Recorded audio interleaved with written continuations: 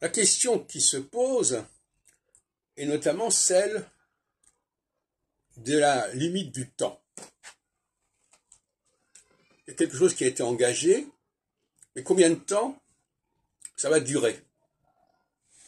On le voit par exemple avec le conflit en Ukraine. Combien de temps ça va durer? Avec la Seconde Guerre mondiale aussi, combien de temps ça va durer?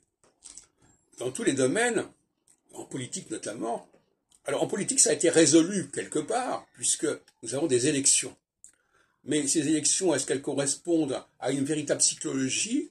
Est-ce qu'elles correspondent à une véritable nécessité structurelle? Toute la question est là.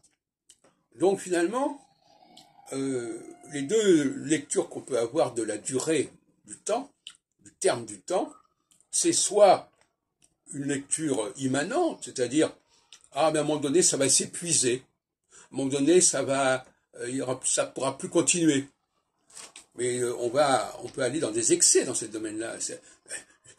Jusqu'à quel point faut-il aller, jusqu'à quel seuil faut-il aller pour qu'on s'arrête? Et puis il y a une lecture structurelle transcendante qui dit qu'il y a un temps imparti. Il y a un temps imparti pour telle et telle activité, pour telle et telle zeitgeist. Bon. Donc une fois que ce temps imparti est épuisé, et qui, et ne dépend pas de l'activité humaine, mais qui agit sur l'activité humaine, eh bien à ce moment-là, on doit passer à autre chose. Donc finalement, avec mon entretien avec Jean-Paul, que vous pouvez visionner sur euh, YouTube, euh, le problème est, constamment là.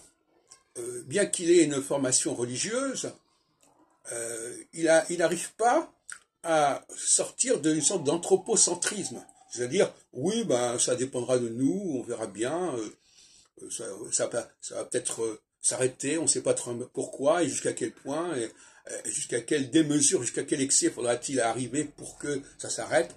Il n'arrive pas, il n'arrive pas à intégrer la théologie transcendantale dans son raisonnement. Il n'arrive pas à dire qu'il y a une providence, qu'il y a des garde-fous qui sont posés euh, par des dieux qui sont, en fin de compte, les, dieux qui ont créé notre ciel, notre terre, notre humanité, qui ne sont pas les dieux euh, de la nature, qui ne sont pas les dieux de l'origine du monde.